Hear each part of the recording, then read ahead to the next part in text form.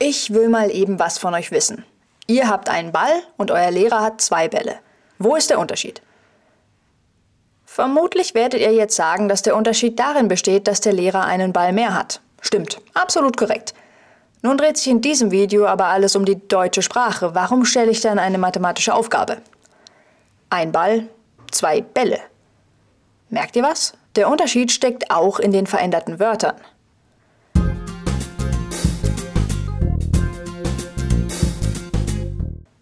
Deutsch zählt nicht zu den einfachsten Sprachen, so viel steht fest. Die deutsche Grammatik ist komplex und teilweise ziemlich kompliziert. Der ein oder andere mag da auch die vier Fälle hinzuzählen, mit denen man jedes Substantiv so formen kann, dass es im Satz korrekt aussieht. Das nennt man Deklination. Das gibt es übrigens in allen Sprachen, aber es ist nicht überall so kompliziert wie im Deutschen. Sinn der Deklination ist es, das Wort so umzuformen, dass seine Verwendung in einem Satz absolut eindeutig verstanden werden kann. Das ist wichtig, aber in der Regel muss man da nicht drüber nachdenken. Das macht man von selbst richtig, sofern man Deutsch gut genug beherrscht. Wer nun aber die Funktionsweise einer Sprache verstehen will, der muss sich vielleicht doch mal ansehen, was es mit den Fällen auf sich hat.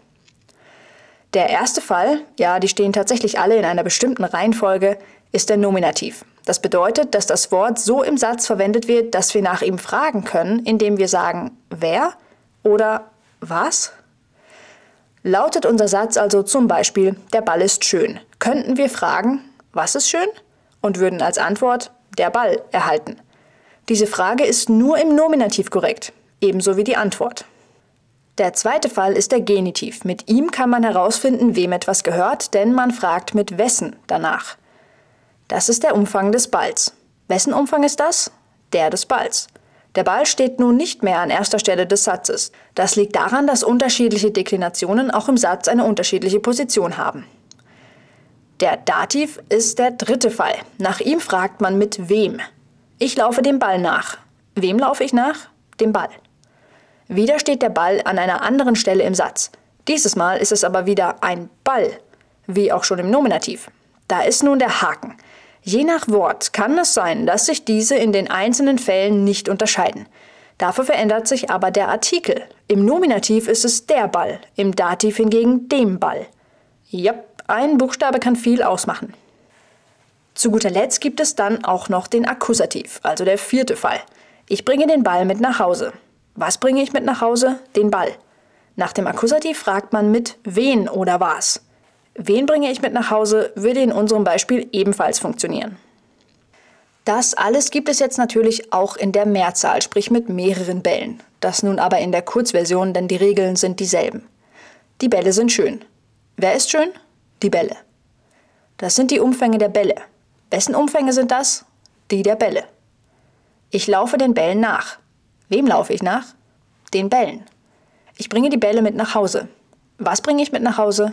Die Bälle.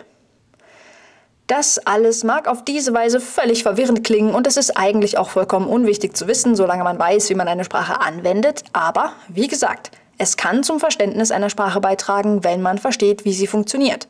Müht euch darum bitte nicht ab, das auswendig zu lernen. Im Grunde reicht es schon aus, wenn ihr wisst, dass ein einziges Substantiv durch einen Artikel oder ein paar Buchstaben so verändert werden kann, dass es im Satz eine andere Funktion einnimmt. Das gilt übrigens nicht nur für Substantive. Auch Adjektive, Pronomen und natürlich Artikel können dekliniert werden. Wollt ihr mehr zum Thema erfahren, schaut am besten mal in die Videobeschreibung. Dort findet ihr genauere Infos zu den einzelnen Fällen und auch einige Übungen, die euch helfen können.